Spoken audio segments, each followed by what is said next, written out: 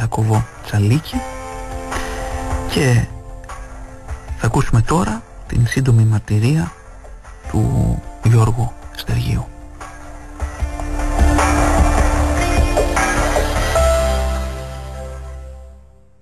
Εγώ το γέρο το Ιάκωβο το γνώρισα πριν γίνει ακόμα ηγούμενος. Ήταν καλό γέρος όταν τον γνώρισα.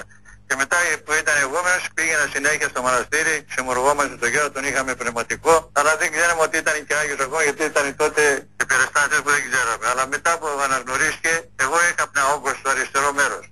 Εκεί πήγα στο γιατρό σε κάποιον χαράλαμπο κοτά εδώ πέρα τον παθολόγο που έχουμε, μου λέει Γιώργο να πάει στο γιατρό που είναι στην Αθήνα γιατί αυτό λέει κακοήθης. Και πρέπει να πας μέσα να δεις τι γίνεται γιατί δεν το βλέπω καλά. Εγώ προτίμησα να μην πάω, παρά πήρα το βιβλίο του Γέροντα και παρακαλούσα τον Γέροντα συνέχεια και ώσπου είχαμε τάξει με τη γυναίκα μου να πάμε στη, στην Παναγία Τεντίνο, το οποίο πήγαμε στην Τίνο το πρώτο βράδυ καλά, το δεύτερο βράδυ παρουσιάζει το Γέροντας εκεί με τρεις γάζες στο χέρι του και μου λέει Γιώργο ήρθα να, να πάρω αυτό που έχεις. Εγώ δεν μίλησα τίποτα στη γυναίκα μου εκεί στην Τίνο, θα άφησα ήρθα εδώ στη Λίμνη, πάει γυρίσαμε στο σπίτι, πήγα κανένα μπάνιο, λέω γυναίκα πρέπει να δεις το όγκος που είχα έφυγε. Ωραία πώς έφυγε, της λέω στην Τίνο που είμαι δεν σου είπα τίποτα γιατί εκεί είδα το γέροντα τον Ιάκωβο με τρεις γάζες στο χέρι και ήρθε και με εγχείρες και μου το πήρε. Και από τότε δεν έχει ξαναπαρουσιαστεί τίποτα, είμαι δόξα το Θεό πολύ καλά.